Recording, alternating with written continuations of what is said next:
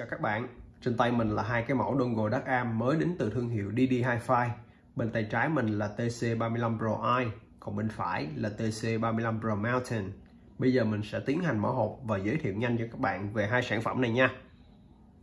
Tuy tên gọi có phần hơi khác nhau một tí, nhưng cả hai sản phẩm này đều có chung một công năng, đó là chuyển đổi tín hiệu số từ các thiết bị có đầu cắm Lightning hoặc là USB-C ra analog tại cổng 3.5 TC35 Pro sử dụng con chip ES9281AC Pro cho khả năng giải mã nhạc 32 bit 768 kHz, DSD 512 và đạt chuẩn MQA Renderer. Trên thân mỗi sản phẩm đều có một cái đèn LED RGB nhỏ để cho chúng ta xem được cái bitrate theo thời gian thực. Anh em có thể tìm hiểu thêm trong sách hướng dẫn sử dụng nha.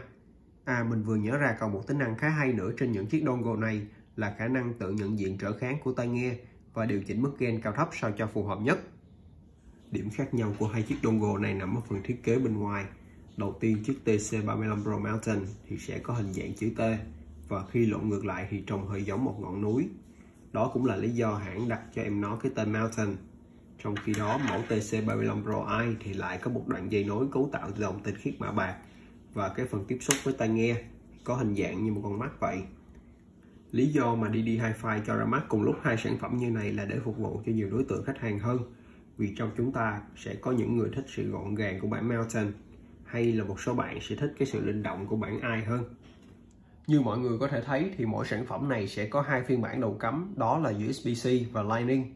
Anh em lưu ý là bản USB-C lần này hãng sẽ không còn tặng kèm cho chúng ta cái adapter để chuyển qua USB-A như những sản phẩm trước nữa nha.